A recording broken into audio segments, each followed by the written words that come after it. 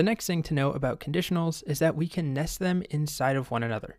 So we can have multiple layers deep of conditionals where we're checking for a certain condition to be true, and we can nest them as much as we want, whether it's if and else's, we can throw in else ifs, we just nest them inside the curly braces. So let's try an example. We'll go with this example I've been using in the slides of a password. So let's say a user types some password and we don't know what it is. So that's going to be invalid. I'm just going to make it undefined for now. Let's say we don't know what it is. We want to make sure the password is long enough. So we would check if password dot length is, let's say it's greater than or equal to maybe six, eight, not super strong. It should be longer, but just to make our lives easier. If it is greater than or equal to 6, we'll check something. If it's not, we'll console.log password must be longer. Great. But if it is greater than or equal to 6, we're not done. We also want to make sure there's no spaces in a password.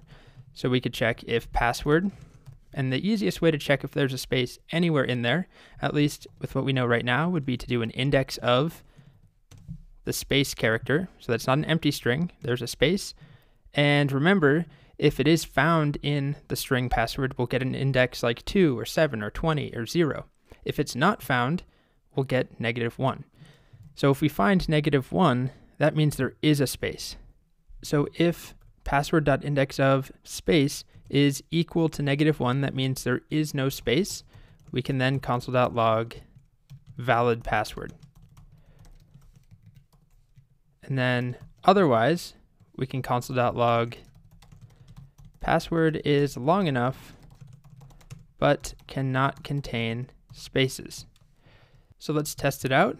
Right now, password is undefined. Let's give it a value. Password will be uh, hello kitty. So that is long enough, but if I refresh, we see password is long enough but cannot contain spaces, and there is at least one space in there. If I get rid of that, refresh, valid password. Now, if I get rid of some of these characters, it's too short, we get password must be longer. So the main takeaway from this video should be that we can nest conditionals inside of other conditionals. We could add in another else if somewhere, uh, although I don't really think of, I can't think of a good scenario, at least now with a password, where an else if would make sense. But we could continue to nest inside of else, inside of if. But there is a point where it becomes a little bit difficult to read if your code is super nested. And there are different solutions or strategies you can take to alleviate that. We're about to start learning one of them at least, where something like this could actually be written as a single condition. Because in order for a password to be valid, we need the length to be greater than 6 and we want there to be no spaces. That means it's valid. What if we could just write a single conditional that said, if it's long enough and there aren't spaces, it's valid? That's what we'll see how to do next. There's nothing wrong with nesting. Sometimes you cannot get around it, but you just don't want to have like five levels of nested conditionals, especially if they all have if and else's.